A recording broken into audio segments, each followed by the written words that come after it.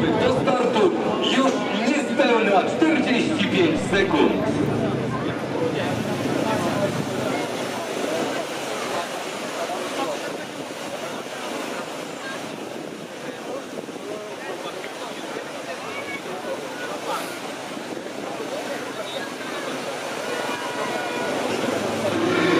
Jeszcze nieco ponad 20, ale to już są ostatnie sekundy. Jedziemy o brąz, brązowy medal Mistrzostw